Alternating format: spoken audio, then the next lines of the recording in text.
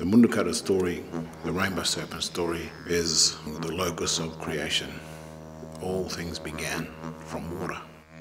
So when we talk about water, we talk about it as the gamu gamu. The gamu gamu is life, and we protect life by protecting the water. My father, grandfather, and great grandfather are born in Clermont. We're from the Galilee Basin, Wangan Jagalingou country. They rounded our people up in Clermont. They took our people from there because our people were in a place where there's all these natural resources coal and gold and gas. This capitalist world we live in now, that's the tyranny that robs us of our humanity. And we're the ones that stand between that and the destruction of our country and the destruction of our law. They say, well, you've been dispossessed, you know, you've been colonized, you've been taken off your land, you don't have continued connection. Yeah, we're black blackfellas. We're connected through law. Where we get our law from is right there in the land as it was from the day our old people put it there. Our ancestors are with us now, today, as we speak.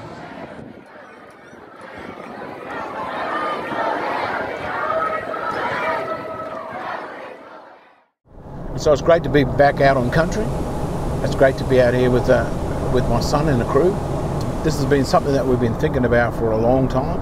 Uh, the, the responsibility that we have as the, uh, the, the, custodians to this land and uh, maintaining and protecting and uh, um, monitoring what's happening out on our country, especially in, in relation to the Carmichael mine.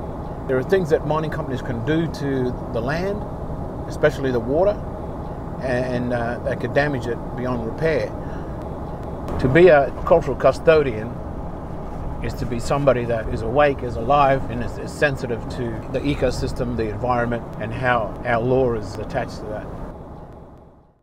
Over the many years of being involved in the Aboriginal community, I've met law people from right across the country. The number one theme that comes across is the story of the rainbow serpent. This is a story that connects every single one of us. Kingi ngira begini pach pach dari larkin niki gukungargan. Ya namara ngarami ini kapanage tribe kabi wangan jangalingu. Would be called my limbo. Yo. That is right. Oh, Yo. Yo. That would be, I can see who they are. Mining company. They'll need trouble, big trouble. If Adani or anybody, any corporate entity destroy the sacred sites belong to we people, the First Nations people of this land, not only will they harm the land and the people, but they helping they're hurting us mob up here too because all Aboriginal people are connected. We all family, and we all share that one water dreaming. And because our people are the ones that uh, that have managed the earth, managed the environment for thousands of years, it's been taken from our hands, and so it has to come back to the original custodians to manage the, the water. The remaining years of my life will be saying to everybody in this country that those elders and those law people that are speaking now, they've been born into it. It's their job. They are the messengers. They tell this message for people now. Listen to what they're saying. They're telling you to leave the water alone. They're telling you not to interfere with the water.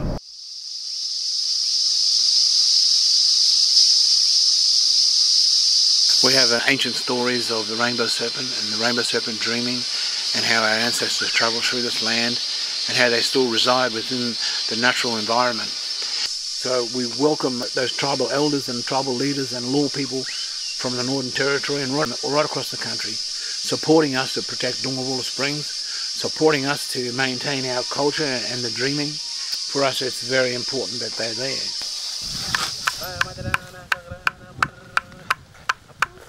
We're building confidence and self-esteem and pride in uh, in our heritage. And the reason why we uh, encourage our young people to be involved is so that uh, they can strengthen their identity. Um, it's just good to be in the environment, to get out of what's going on in town, like the antisocial life in town, to come out and to be social, to be cultured, forming myself and shaping who I am mentally, physically, and spiritually into into a young warrior. It's um, very spiritual and, and very very heartwarming to be a part of a corroboree. It's really meaningful to, to the environment and where we walk and how we talk. It's a beautiful thing to be a part of. And hopefully the Munagara's watching.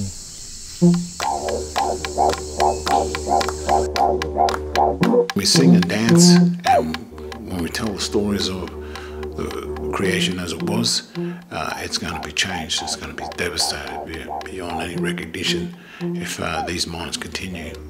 That's why I'm fighting so hard against mining in our country.